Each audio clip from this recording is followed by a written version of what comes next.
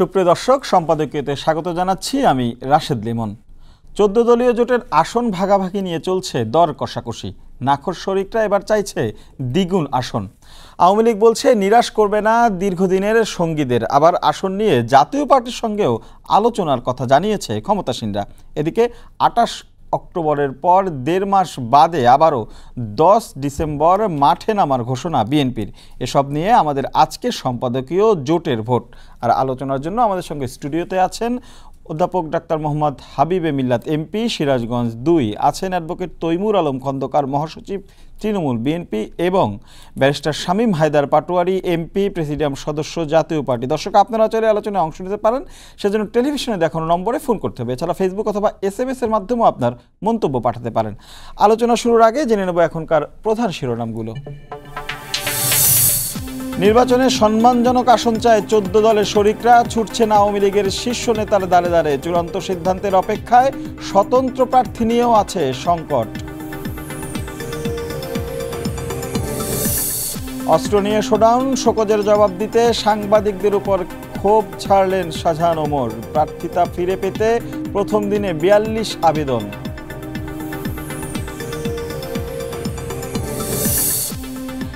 Thirty ফার্স্টে অনুমতি মিলবে না, কোনো অনুষ্ঠানের উড়বে না ফানুস। থাকবে মোড়ে মোড়ে চেকপোস্ট, বড়দিনকে ঘিরে নেই নিরাপত্তার শঙ্কা, জানালেন স্বরাষ্ট্রমন্ত্রী।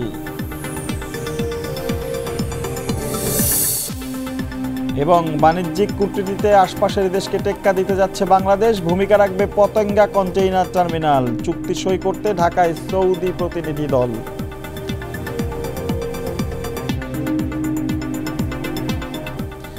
দর্শক, দেখছিলাম শিরোনাম আজকে আমাদের আলোচনার বিষয়, জোটের ভোট। আমি একটু তৈমুর আলম খন্দকার আপনাকে দিয়ে শুরু করি। আপনি যখন নির্বাচনে আসার ঘোষণা দিলেন বা যুক্ত হলেন নির্বাচনী কর্মকাণ্ডে, তখন থেকেই বলছিলেন যে আশপাশে জোট। যেহেতু আমরা জোট নিয়ে কথা বলছি, আসলে আসন ভাগাভাগি নিয়েও আপনি বেশ কথা হচ্ছে আপনাকে নিয়ে যে আসন ভাগাভাগি করেছেন বা এই ধরনের কথাও হয়েছে। তবে জোটের ক্ষেত্রে আসলে আপনি কি কোনো জোটে আছেন কিনা বা কারোর সাথে আসন ভাগ, ভাগাভাগি নিয়ে আসলে কোনো দর কষাকষি হয়েছে কিনা? জি বিসমুল্লাহ রহমান রহিম। দর্শক, শ্রোতা এবং সমালোচক বৃন্দ আসসালামু আলাইকুম। আমি প্রথম অবস্থায়তে বল- আসতেছি যে তৃণমূল তৃণমূল বিএনপি তার নিজস্ব মার্কা নিয়ে নির্বাচন করবে। সরকারের সাথে কোনো জোটে যাবে না। কেউ যদি তৃণমূল বিএনপির সাথে জোটে আসতে চায়, তারা তৃণমূল বিএনপির নেতৃত্বে তারা জোট করবে। এর মধ্যে কিছু দল আসছে, নিবন্ধিত, অনিবন্ধিত। তাদের কাছে আমরা কিছু আসন ছাড়ছি। আমরা চেষ্টা করছিলাম তিনশো আসনেই নির্বাচন করার জন্য, কিন্তু নমিনেশন পেপারের যে অহেতুক কিছু হয়রানি, এই কারণে আমাদের অনেক প্রার্থী নমিনেশন পেপার জমা দিতে পারেনি। প্রথমত হলো এই বিভিন্ন জেলা শহরে বা উপজেলায় যে নমিনেশন পেপার জমা দিচ্ছে সেখানে ব্যাংকের মা- চালানের মাধ্যমে যে দিতে হয়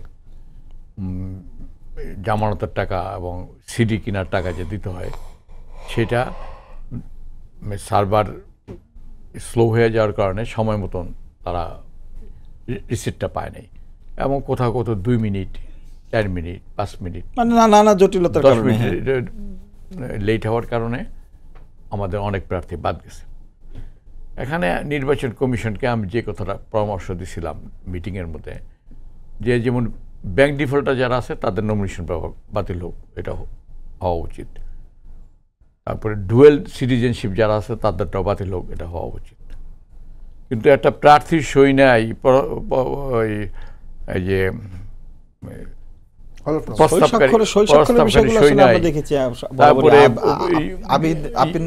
এই- যে ভোটারের ইয়ে নামের বানান টানান এইসব সব কিছু মিলে ঠিক অনেক নমিনেশন পেপার বাতিল হয়ে গেছে। একটা নমিনেশন পেপার বাতিল হয়েছে খুলনার। সেটা হলো স্বামীর লোন আছে। ছয় বছর আগে ওই মহিলার তার ডিভোর্স হয়ে গেছে একজন অ্যাডভোকেট তার নমিনেশন পেপার স্বামীর জামালার কারণে বাতিল হয়ে গেছে। তো আমরা সবাইকে পরামর্শ করছি যে রিট করার জন্য বা আপিল করার জন্য। তো এই আপিলে আমাদের কিছু ই টিকবে। তা আমরা মনে করি যে আমরা আমাদের নির্বাচনটা আমরা আমাদের নিজস্ব ওয়েতে করব। তো এখানে প্রশ্নটা হলো এই দেশের মালিক জনগণ।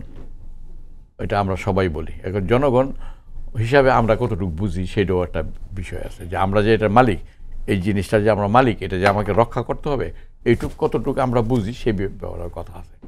আমি মনে করি যে একটা পার্লামেন্টের সকলেই এই দেশটার নাম হলো গণপ্রজাতন্ত্রী বাংলাদেশ। এই একটা গণতান্ত্রিক দেশ।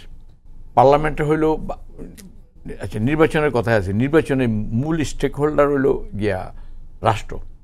আরেকটা স্টেক হোল্ডার হইল জনগণ। মাঝখানে যেটা আছে সাব স্টেক হোল্ডার নির্বাচন কমিশন তারপরে আইন শৃঙ্খলা বাহিনী, সরকার, এরা এদের দায়িত্ব হলো রাষ্ট্রকে সহযোগিতা করা।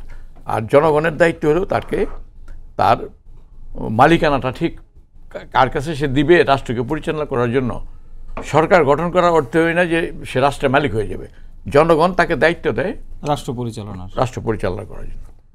এখন প্রশ্ন হলো জনগণ যদি মনে করে যে তিনশো আসনই সরকারকে দিয়ে দিবে যার যার জন্য নিয়ে অন্যান্য বড় বড় দল পুরানো দল বড় বড় নেতারা সরকারের সাথে আসন ভাগাভাগি করে। যে সরকারকেই বোধহয় জনগণ সব দিয়ে দেবে। সরকার না সরকারি দল? সরকারি দলকে সরি সরকারি দলকে। তো এখন আমরা আবার সেই ইয়ে নেই। আমরা আমাদের নিজস্ব ইয়ে চলবো এবং আমরা আপনার নামে তো বেশ কথা আছে যে আপনি বলেন কি কথাটা আছে বলেন। আছে যে আপনি আসন ভাগাভাগি কোথায় কাল কার লোকে ভাগাভাগি করলাম? একটা ক্লিপও দেখলাম ক্লিপ তো এটা আমার নারায়ণগঞ্জের লোকের সাথে। ধরেন আপনার কাছে একশোটা টেলিফোন আসলো যে ভাই আপনি নারায়ণগঞ্জে তো টেলিফোন নির্বাচনটা করেন। আসলো। আমি ঠান্ডা মাথায় একশোটা লোকের জবাব দিছি। একশো একটা যখন হয়েছে তখন আমি আমার আচ্ছা ভয়েসটা রিস করছি। এটা ঠিক যে নারায়ণগঞ্জের মানুষই আমাকে নেতা বানাইছে। যেটুকুই নেতা আমি একটা বড় নেতা না ছোটো হলো রিস্কওয়ালা ঠেলা গাড়িওয়ালা করে নেতা। একটা ভাইয়া জানে উনি নারায়ণগঞ্জে যায়। ওনার নারায়ণগঞ্জে ওনার লোক আছে। এবং আমাদের একটা বিরাট জায়গা ছিল।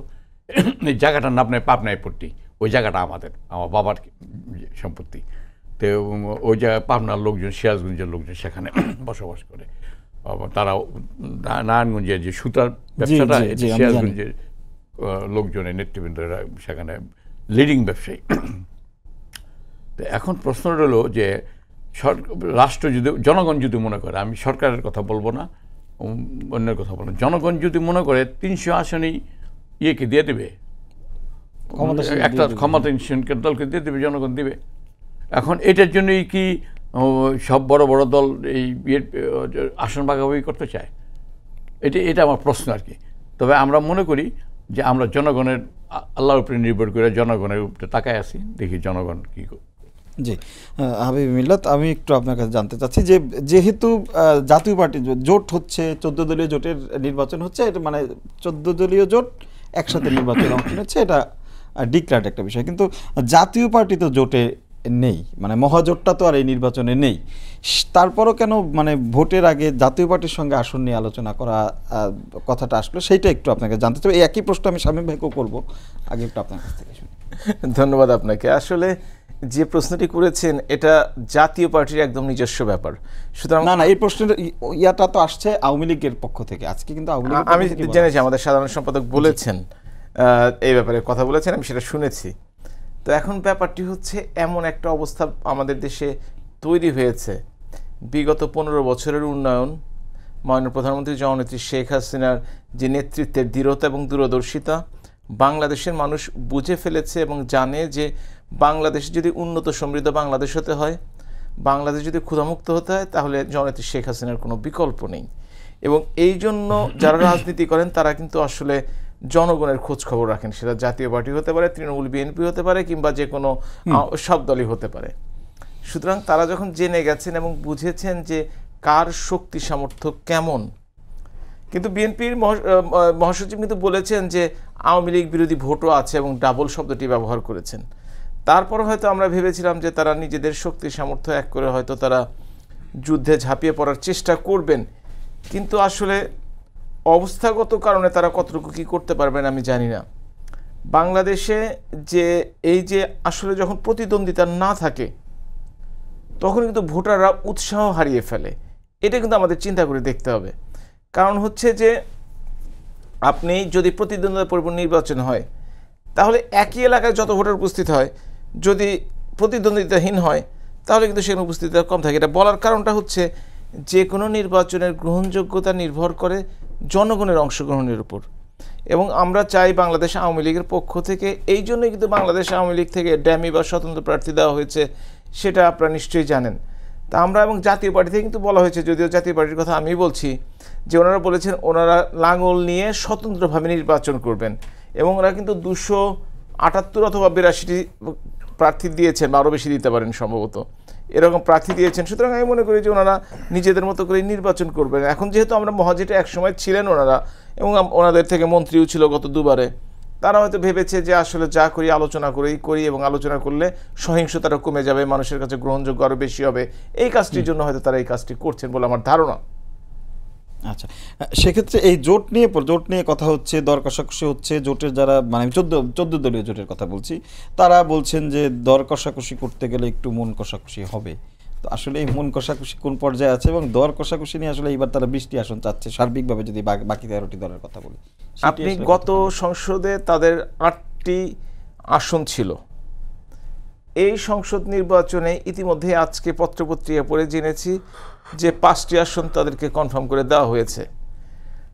তো আসলে এবার কিন্তু মাননীয় প্রধানমন্ত্রী একটা কথা বলেছেন যে নিজের নির্বাচন নিজের করে আসতে হয়। অর্থাৎ জনপ্রিয়তায় যারা মাপকাঠিতে জনগণের সম্পৃক্ততায় যারা থাকবেন তারাই যারা এবং যারা জেতার মতো ক্যান্ডিডেট জেতার যোগ্য ক্যান্ডিডেট তাদেরকে নমিনেশন দেওয়া হবে। তো সুতরাং তাদের দলে যদি আরও বেশি থাকে যারা জিতে আসতে পারবে প্রতিদ্বন্দ্বিতা করে হয়তো বা নৌকা থাকবে না। কিন্তু নৌকার যিনি বিদ্রোহী বা নৌকার যিনি স্বতন্ত্র প্রার্থী হয়েছেন, তিনিও কিন্তু শক্তিশালী, এটা কিন্তু অস্বীকার করার কোনো উপায় নেই। সুতরাং তাকে হারিয়ে কিন্তু আসতে হবে এবং তাকে একজন মানুষ জোতার জেতার যোগ্য, আপনি একজন কম যোগ্য মানুষকে দিলেন, এটাও কিন্তু জনগণের প্রতি একটা ভুল বার্তা দেওয়া হয়। সুতরাং আওয়ামী লীগ এই ভুল কাজটি করতে চাচ্ছে না এবার। এবং মনে করছে, বিগত নির্বাচন দুটি সম্বন্ধে বিশেষ করে যে কথাগুলো উঠা হয় সেটা যেন কোনোভাবেই এই নির্বাচনে না উঠে সেটার জন্য আওয়ামী লীগ প্রথম থেকেই খুব গুরুত্ব দিচ্ছে এবং আমি মনে করি শান্তিপূর্ণ, অবাধ, সুষ্ঠু নির্বাচনের মাধ্যমে এই কথাগুলো যাতে কেউ আর কোনোদিন বলতে না পারে, সেই ব্যবস্থাটি আওয়ামী লীগের পক্ষ থেকে এবার করা হবে। জি শামীম হায়দার পাটাওয়ারি এই একই প্রশ্ন যদি আপনাকেও করি, যে আপনারা তো শুরু থেকেই বলে আসছিলেন এবার যে যখন থেকে নির্বাচনে মানে আসার সিদ্ধান্ত নিয়েছেন, তার আগে থেকেই বলে আসছিলেন যে যদি নির্বাচনে আসে তিনশো আসনে প্রার্থী হবে, আলাদা নির্বাচন করবে তাহলে আসলে আলাদা করে কি আসন নিয়ে কথা বলার বা আলাপ করার কোনো দরকার আছে কিনা? জি, ধন্যবাদ। মূল সমস্যাটা হয়েছে বিএনপি ভোটে না আসার কারণে। বিএনপি ভোটে আসলে এক ধরনের অ্যালায়েন্স হয়ে যায়।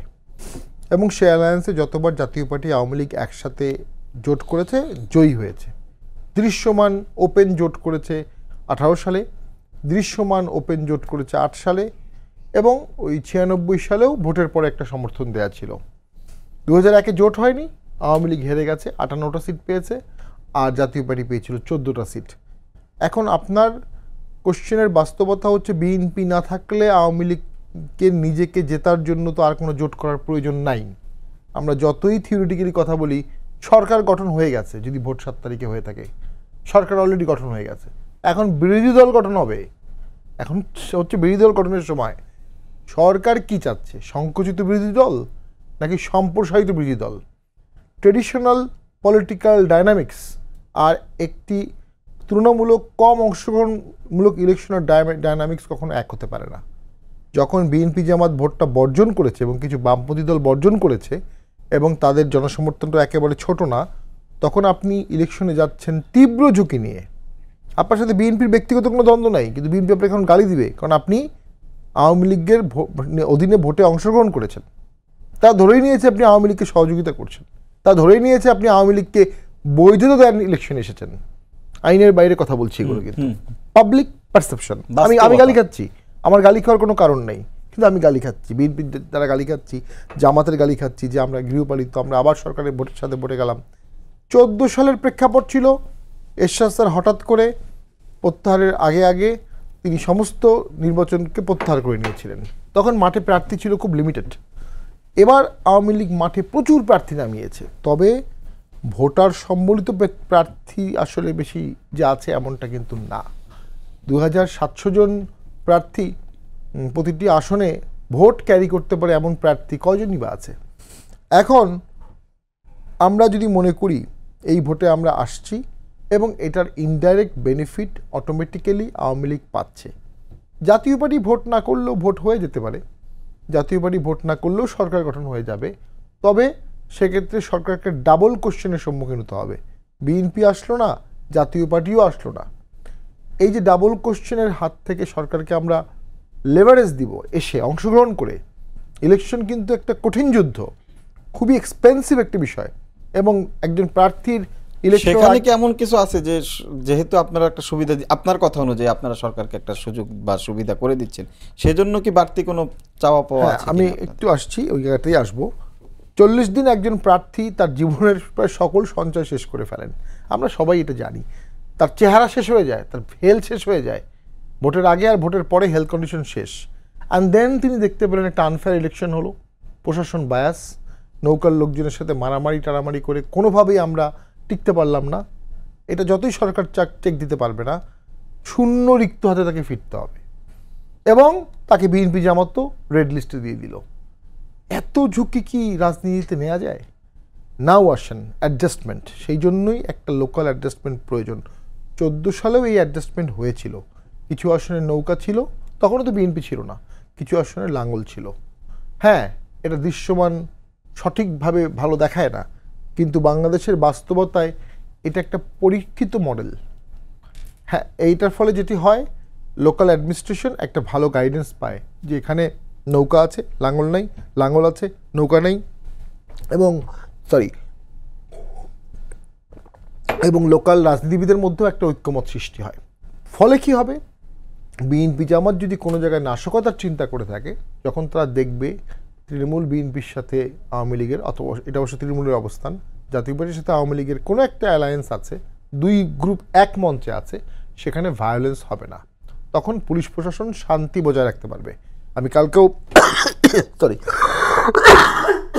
কালকেও বলছিলাম, এই ভোট থেকে খুব আকাশচুম্বী প্রত্যাশা করার কিছু নাই। এই ভোট আকাশচুম্বী প্রত্যাশার ভোট না, কারও জন্যই। এই ভোট হচ্ছে শান্তিপূর্ণভাবে ভোটের দিনটি পার করার ভোট এবং মোটামুটি ভোটার নিয়ে আসার ভোট। সেই শান্তিটা কীভাবে বজায় হবে? কীভাবে আভ্যন্তরীণ অস্বস্তি দূর হবে? সরকারকে সেটি দেখতে হবে। কারণ বিএনপি না আসার কারণে ওয়েস্টার্ন ওয়ার্ল্ড কিছু না কিছু উষ্মা এ বিষয়ে প্রকাশ করবেই। এরপরে যদি ভোটটা প্রতিরোধমূলক করতে গিয়ে দ্বন্দ্বময় হয়ে যায় বিয়াল্লিশ হাজার সেন্টার। কোনো একটা সেন্টারে যদি রক্তারক্তি হয়ে যায়, ককটেল ফোটে ভায়োলেন্স হয় ইভেন অংশগ্রহণকারী দলের মধ্যে হয়, এটি ওয়েস্টার্ন ওয়ার্ল্ড খুব বড় করে দেখাবে এবং এর সুযোগ নির্বাচন বর্জনকারীরা নিতে পারবে। নির্বাচন বর্জনকারীরা নির্বাচন প্রতিহত করার সুযোগ পেলেই প্রতিহত করবে, এটা স্বাভাবিক। তারা চেয়ে চেয়ে দেখার জন্য বর্জন করেনি যে নির্বাচন হয়ে যাবে। সেই মাস্টার প্ল্যানের ব্যাকআপ কন্টিনজেন্সি প্ল্যান একটা সরকারের থাকতে হবে যে শান্তিপূর্ণভাবে ভোটটি পার হবে। আর বাকি যে কথাগুলো বলছি আমরা, চোদ্দ, আঠারো বা সামনের ইলেকশন এই সংসদগুলো প্রাণবন্ত হবে, শেষ করে দিচ্ছি, প্রাণবন্ত হবে, শক্তিশালী হবে, কিন্তু ভোটের কিছু ডিফেক্ট থেকেই যাবে। এটা নিয়েই চোদ্দ সাল থেকে বাংলাদেশ চলছে, এবারও ভোট হলে এটা নিয়েও বাংলাদেশ কিছুদিন চলবে। এটাই এটাই বাস্তবতা। তো বললাম, খন্দকার যদি বলি শাহিম হাজার পাটোয়ারি বেশ কিছু তার ইয়াতে বাস্তবতা কথা বলল। তার মধ্যে আমি ছোট্ট একটা একটা প্রশ্ন করি। উনি বলছেন যে ভোট সমঝোতার একটা আপনি কি আসলে তৃণমূল বিএনপি কি সেই সমঝোতার অংশ? নাকি আপনি যেটা বলছিলেন যে, গণতান্ত্রিক দল হিসেবে? তৃণমূল বিএনপি এই পর্যন্ত কোনো সমঝোতায় গেছে বা সরকারের কাছে দাবি করছে যে, আমাকে নৌকা দেন এই ধরনের প্রমাণ কি আপনাদের মিডিয়াতে আছে? এই ধরনের কোনো প্রমাণ নেই। আমরা বরাবরই বলে আসতেছি, আমরা নির্বাচন করব, আমাদের নিজস্ব হতে নির্বাচন করব, আমাদের মার্কা নিয়ে নির্বাচন করব। আমরা মনে করি এটা রাজনীতি, একটা নর্মস আছে। নর্মস অফ যে ডেমোক্রেসি যদি আপনি চিন্তা করেন, যদি মনে করেন যে যারা এই দেশের বর্তমানে গার্জিয়ান তারা যদি মনে করে যে এই দেশে একটা পার্লামেন্ট থাকা দরকার, এবং সেই পার্লামেন্টে পার্লামেন্ট মিন্স যে সেখানে ডিবেট হবে, তর্ক বিতর্ক হবে বিস্তারিত আলাপ আলোচনা করবে এটি তো পার্লামেন্ট। পার্লামেন্ট তো শুধু হাত তোলার কাজ না। পার্লামেন্ট হবে পার্টিসিপেটরি পার্লামেন্ট। সেই পার্টিসিপেটরি পার্লামেন্ট যদি আপনি করতে চান সেখানে একটা বিরোধী দল দরকার হবে। একটা শক্তিশালী বিরোধী দল দরকার হবে। এবং আমি এই বিষয়টা জনগণের উপরে ছেড়ে দিতে চাই। জনগণ বিভিন্ন সময়ে মুক্তিযুদ্ধ এই- এই দেশের জনগণ মুক্তিযুদ্ধ করছে রাষ্ট্রভাষার জন্য আন্দোলন করছে তত্ত্বাবধায়ক সরকারের জন্য আন্দোলন করছে অনেক কিছু করছে। এবার দেখি যে জনগণের রুচিটা কি? জনগণ কি? রণগান আছে কি বেশি আরেকটা বিষয় যে শান্তি জনগণ একটা ই চায় কিনা? যারা পার্লামেন্টার যারা কথা বলতে পারে যারা কথা বলতে চায় যারা রাজপথে থেকে উঠে আসা লোক এবং বিভিন্ন পেশাজীবীকে যারা প্রতিনিধিত্ব করছে তাদেরকে পছন্দ করবে? না যারা উপরতলার লোক তাদেরকে পছন্দ করবে? আচ্ছা আর আমার আমার একটাই দাবি যে জনগণকে আপনার ভোট কেন্দ্রে আসেন আপনার নিজস্ব মালিকানাটা এক্সারসাইজ করেন। আচ্ছা শান্তিপূর্ণ ভোটের কথা হচ্ছিল। তো শান্তিপূর্ণ ভোটের কথা আমরা দেখলাম বিএনপি প্রায় দেড় মাসই বলা যায়, আঠাশ অক্টোবরের পরে তারা কিন্তু একবার হরতাল অবরোধ দিলেও মাঠে ওভাবে নেই। কিন্তু আঠারো দশ তারিখে তাদের একটা কর্মসূচি দিয়েছে, মানববন্ধন কর্মসূচি এবং এরপরে তারা পরবর্তী কর্মপদ্ধতি বা পরবর্তী কর্মকৌশল সেটা নির্ধারণ করবে। আপাতত তাদের এরা এতদিন যেমন কর্মসূচি বা পরিকল্পনা ছিল, তারা তফসিল হতে দেবে না বা এই সরকার পতনে সেটি থেকে এখন কিন্তু আন্দোলনটা, ভোট ঠেকাও আন্দোলনে চলে গেছে। সেই আন্দোলনের মধ্যে নির্বাচনটা আসলে কতখানি শান্তিপূর্ণ? সেটা হলো এই ধরনের আন্দোলন তো দুই হাজার চোদ্দোতে হয়েছে, দুই হাজার আঠারোতে হয়েছে। নির্বাচনও ঠেকানো যায় নাই, সরকার গঠনও ঠেকানো যায় নাই, আবার এই সরকারকেই, এই এই বিতর্কিত নির্বাচনে নির্বাচিত সরকারকেই আবার আন্তর্জাতিক বিশ্ব বড় বড় ইডিয়া, এই স্বীকৃতি দিছে, তাদেরকে সমর্থন করছে, তাদের সাথে চুক্তি করছে, তাদের সাথে সব কিছু করছে। এখন মাঝখানটা লাভ হয়েছে কি? সরকারের, যে সরকারের একটা ব্ল্যাঙ্ক চেক দেওয়া হয়েছে যে নির্বাচনটা না করে দুই হাজার চোদ্দোতে যদি নির্বাচনে বিএনপি চাইতো অনেকেই বলেন, এবং আমারও দৃঢ় বিশ্বাস এইভাবে ইলেকশনটা হইতো না। এটা প্রতিরোধ হইতো যেমন ধরেন, আমি আমার দলের প্রতি যে ডেডিকেশন ছিল, রাজপথে যতবার আমি মাইট খেয়েছি, আমার শরীরের ভিতরে গুলি আছে, বহুবার জেল খাটছি ডিটেনশন খাটছি। আন্দোলন সংগ্রাম নিয়ে আমার কোনো বা আনুগত্য নিয়ে কোনো ই ছিল না। কিন্তু আমি বহিষ্কার হয়েছি কেন? আমি স্থানীয় সরকার নির্বাচনটা করছি, জেনে শুনেই করছি। কেন করছি? যে আমি মনে করি যে নির্বাচনটা হলো একজন প্রতিনিধি যিনি করতে চান তার জনগণের কাছে যাওয়ার একটা একটা মাধ্যম, উৎকৃষ্ট মাধ্যম। এবং এই আরেকটা আমি সরকারের সমালোচনা করি যে স্থানীয় সরকার নির্বাচনটা সরকার নিজের হাতে নিয়ে নিছে, সরকারি দল, সরকার না সরকারি দল। নিজের হাতে কি?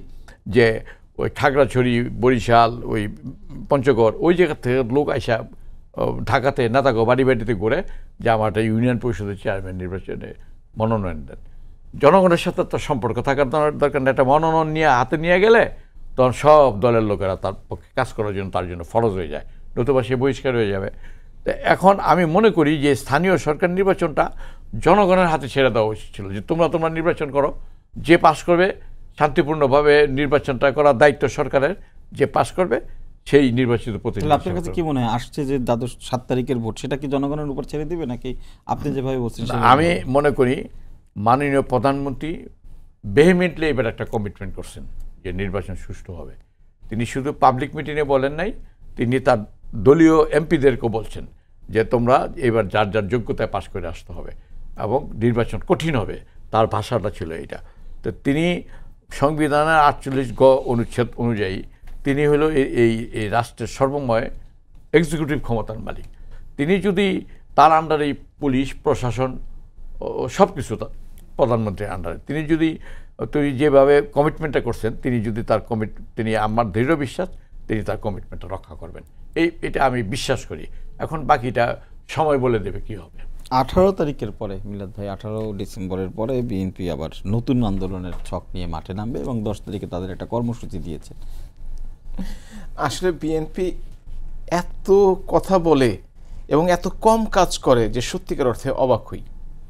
বিভিন্ন সময় আপনারা দেখেছেন, গত বছর কিন্তু দশ- দশই ডিসেম্বরের কথা বলা হয়েছিল যে দেশ চলবে সেই সাজাপ্রাপ্ত আসামিদের দ্বারা। একটা বছর ঘুরে গেল, তারা কিন্তু একই ধরনের কথাবার্তা বলার চেষ্টা করছে।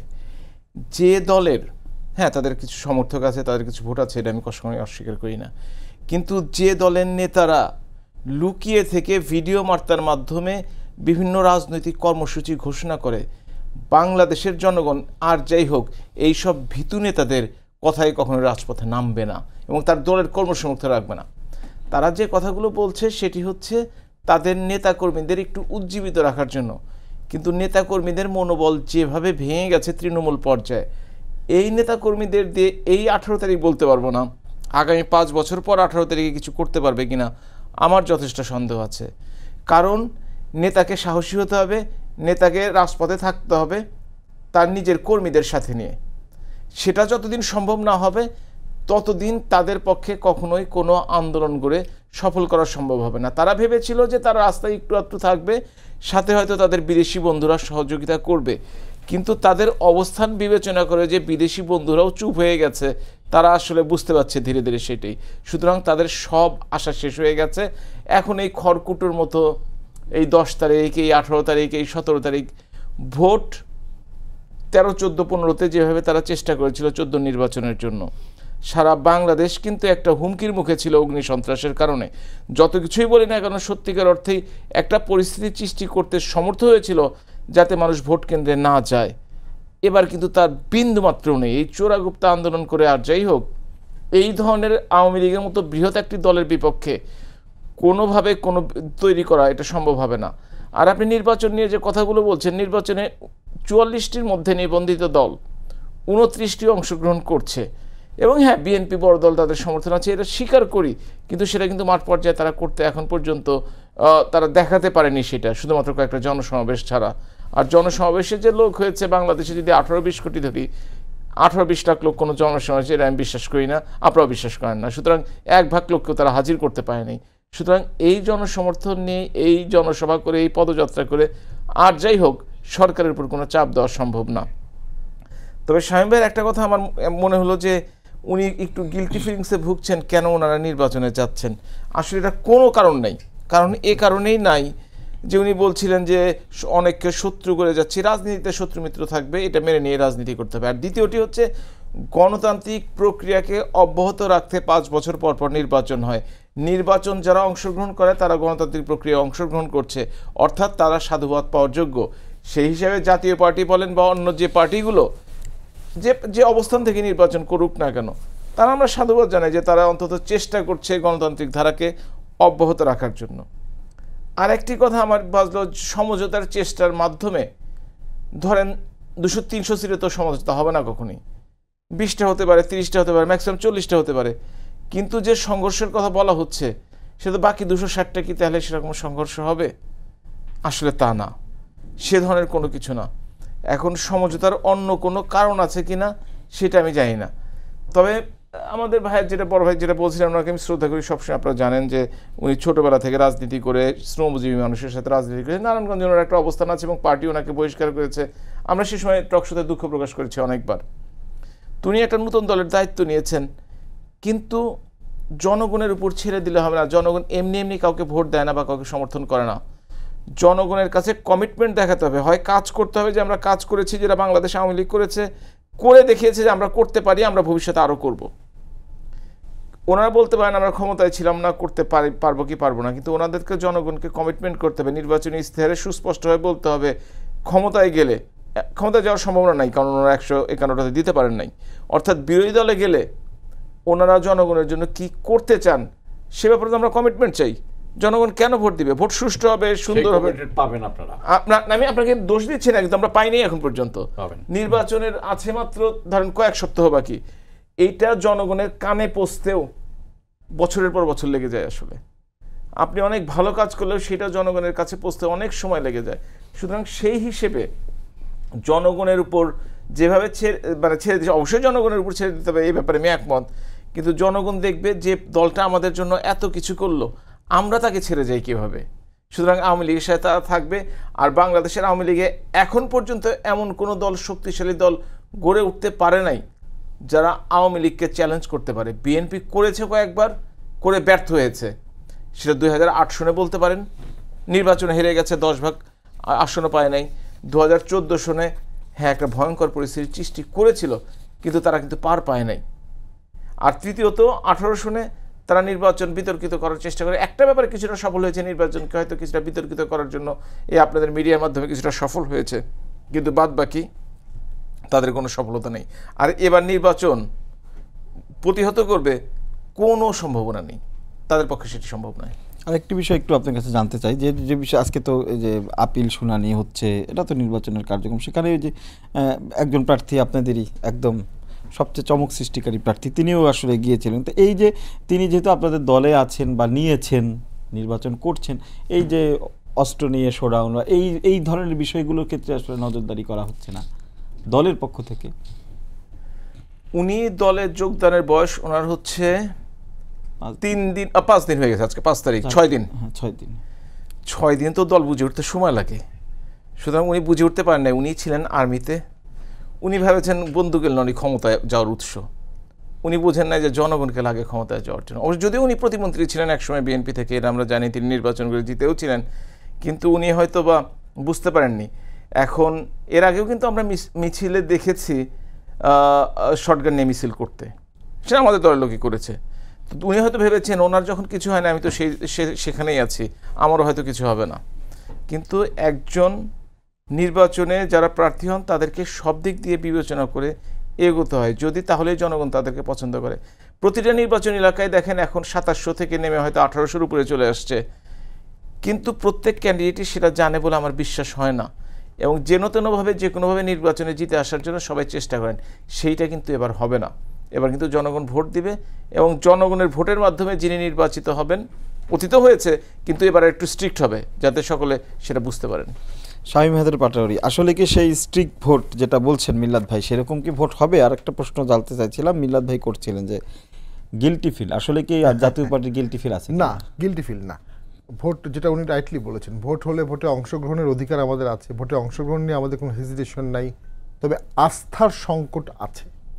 আমি পার্টি অফিসের ভাইব্রেশন বুঝি। আমরা দুইশো অষ্টাশি জন মনোনয়ন জমা দিয়েছি। বর্তমান ব্যবস্থায় একটু আস্থার ঘাটতি আছে। বিএনপির পরিপূর্ণ ঘাটতি আছে এই জন্য বিএনপি বর্জন করেছে। আমাদের শঙ্কা আছে। দেখুন, সংবিধান বলছে পপুলার সোভারেন্টি সংবিধান বলছে সংবিধান সুপ্রিম লবি কারণ কি? কারণ সংবিধান হচ্ছে solemn expression of the people আর কি বলছে? সমস্ত পাওয়ার বাই অথরিটি অথবা পিপল পিপলস রিপ্রেজেন্টেটিভ দিয়ে করতে হবে। লোকাল গভর্নমেন্টও বলা আছে ন্যাশনাল গভর্নমেন্টও বলা আছে। সেই ক্ষেত্রে নির্বাচন একটা বিশাল ম্যামথ যজ্ঞ। বিশাল। বিয়াল্লিশ হাজার সেন্টার। এবং বিয়াল্লিশ হাজার সেন্টারের অ্যাবসলুট নিরাপত্তাকে নিশ্চিত করা আসলেই সম্ভব। অনেক সেন্টারে কাঁচা রাস্তা আছে। অনেক সেন্টারে একটা গাছ কাটলেই সেখানে প্যানিকড হয়ে যায়। চোদ্দ সালে বিএনপি জামাত সারা বাংলাদেশে ব্লকেট সৃষ্টি করেছিল এবং ঝুঁকি ছিল। সেই ঝুঁকির কারণেই একশো চুয়ান্ন জন ভোটের আগেই নির্বাচিত হয়ে গেছে। সরকার আগেই গঠন করে ফেলা হয়েছে। সরকারের মনে শঙ্কা ছিল যে পাঁচই জানুয়ারি কি হবে?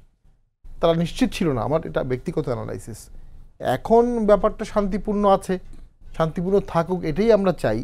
এই শান্তিপূর্ণ রাখার মধ্যে অনেকগুলো ফর্মুলার মধ্যে অবশ্যই একটা অ্যাডজাস্টমেন্ট একটা ফর্মুলা নাও এরপরে কি হবে? এরপরে ডেফিনেটলি ওয়েস্টার্ন ওয়ার্ল্ড একটু মন্তব্য করতে পারে, আট তারিখে, সাত তারিখে। ইকোনমি একটু ধাক্কা লাগবে, কারণ আমাদের আস্তে আস্তে এক্সপোর্ট কমে যাবে কিছু কিছু দেশে, হয়তোবা। আবার কিছু নতুন সম্ভাবনার দ্বারা উন্মোচন হতে পারে। চোদ্দ সালে যে সরকারটি ছিল, এটা আমরা কেউ কল্পনা করিনি পাঁচ বছর থাকবে। কিন্তু পাঁচ বছর ছিল, বহাল তবিয়তে ছিল।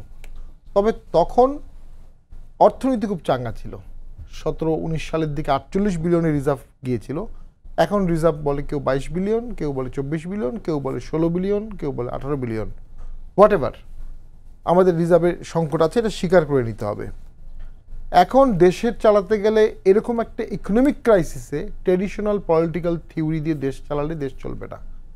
এটা ঐক্যমত করার সময় এবং এটা একটা ইনফর্মাল জাতীয় সরকার টাইপ করার সময়।